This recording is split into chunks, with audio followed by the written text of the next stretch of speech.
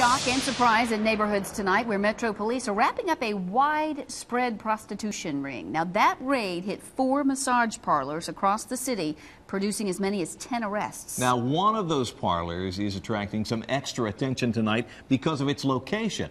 Fox 17 Sky Arnold has the story tonight from Green Hills. Two ounces of cheese. Sandwiched between Green Hills Mall What we got?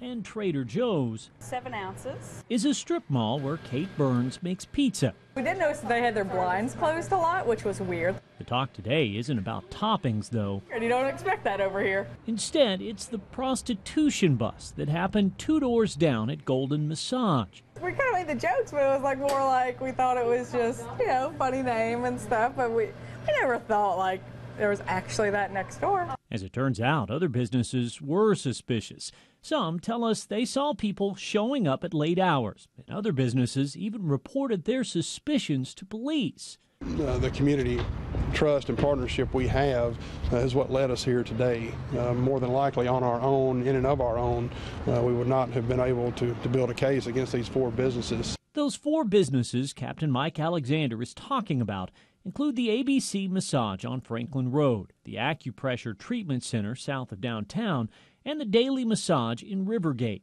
Uh, the four businesses involved today uh, revolve around several infractions. It's not a one time event.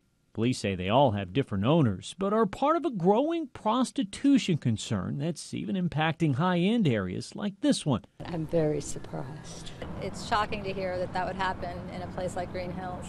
Back in this pizza shop, the reaction is the same.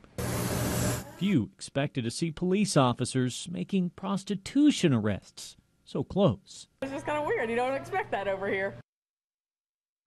And that was Sky Arnold reporting. Metro Police tell us that this particular business case uh, of prostitution is not the only concerning part of this investigation. Authorities are taking a very close look at how some of the women got involved in this business. We'll have more on that part of the story tonight at 10.